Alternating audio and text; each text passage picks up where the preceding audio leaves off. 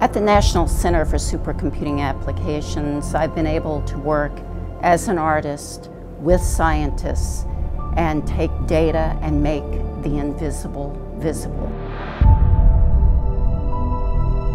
Her team works with real astronomical data. These, this is not CGI, this is not made up stuff.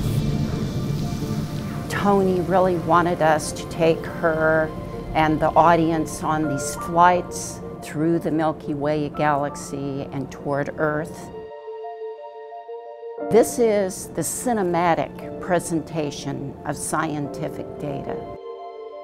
We use catalogs of observed telescope data uh, embedded in our Milky Way model, and we're able to take the audience where cameras can't go.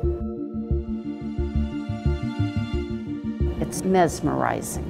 We take billions of numbers that come out of big computers.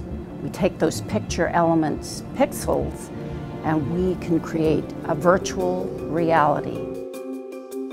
We've compiled catalogs of data on exoplanets and star positions and other observed data in our Milky Way galaxy. Numbers and frequencies from things like telescopes, and we bring them all together in a scene Every star in the Milky Way is in there and they all have numbers and names and you can move from one point in space through to a destination that you choose. Toni Myers and the IMAX team really want to get the science right. And yet they also want it to, to be beautiful and inspirational and emotional. And we love achieving that same goal. Today, more than ever before, we're seeing a kind of renaissance of artists and scientists working together to bring the visual to people and the accuracy of science to be embedded in that visual.